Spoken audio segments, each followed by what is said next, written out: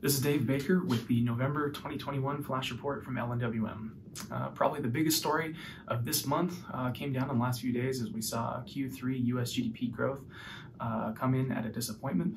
Uh, it was down at a 2% annualized pace from 6.7% the prior quarter. Uh, we saw a resurgence in COVID, of course, that really delayed businesses from reopening.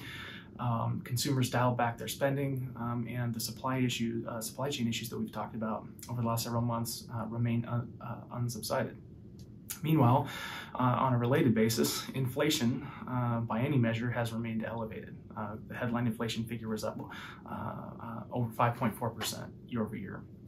You might think that would be a bad backdrop for U.S. stocks. Um, you would be surprised to know that the S&P 500 uh, returned uh, roughly 7% for the month, the strongest month of the year so far, and actually it's the strongest October in the last six years.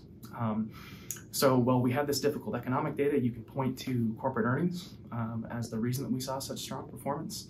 Um, to date, of the companies reporting for the third quarter, more than 86% have posted a positive earnings surprise, and really that's what's been uh, driving uh, such strong results. Overseas, um, I think inflation worries are the issue. Um, non-U.S. markets gained; they were positive, but not quite so much um, as they did here in the U.S. Um, I think folks don't necessarily realize how much inflation is a, a global problem and that other countries are having to face um, the, the same issues, if, if not worse, than what we are.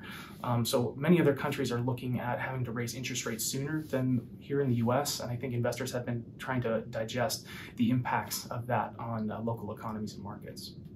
In bonds, interest rates uh, finished right about where they began, so we didn't see a lot of movement there. Um, although we did see foreign bond uh, yields rise, look to the previous comment as to reasons why that is. Um, and then in municipal bonds, in addition to some seasonal weakness, we also saw inflows dry up uh, into the asset class, and I think that's related to um, municipal investors getting less concerned about what might happen with the tax code and more concerned uh, about inflation themselves. In real assets, U.S. REITs crushed it. Um, they uh, uh, match the performance of the broader equity markets. Um, year to date, there's its, its performance has been a bit disparate. You have a sector like the office sector, which has faced the headwinds of uh, delays to back to office plans, etc. But meanwhile, you've got the um, industrial sector that is up more than 40% year to date. Um, uh, with the with businesses having to find parking places for all this inventory that they can't get to market because of all these supply chain issues.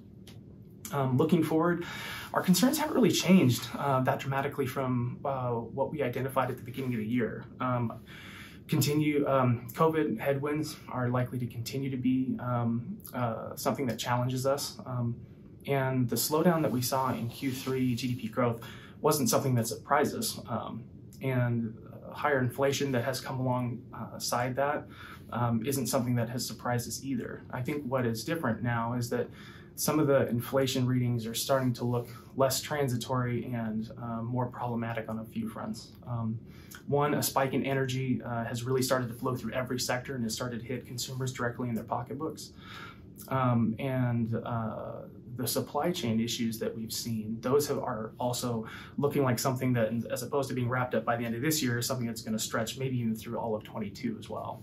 So we see inflation as probably the greatest headwind to growth going forward, but we still see uh, the recovery continuing, maybe just at a slower pace and with a little bit more downside risk. Uh, in terms of what we're doing in portfolios, um, we, we, bake in the possibility of inflationary environments when we design portfolios. You can rest assured of that. Um, we think we have the right positioning of real assets. When you're talking about um, real estate, uh, commodities, infrastructure, etc., um, uh, uh, to help buffer portfolios and protect against the downside going forward. But that, uh, nevertheless, we're still looking at uh, that space, evaluating that allocation to see if we can improve diversification at all. Um, and I think uh, on a related basis, uh, as the Fed begins to unwind its balance sheet, it wouldn't be a surprise to see interest rates rise from here.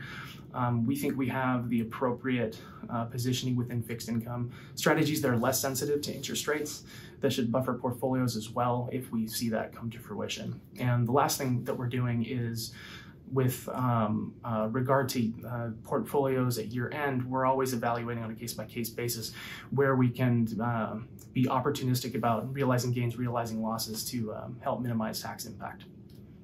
That's all I have for the month of November. Thanks for listening, and I'll see you next time.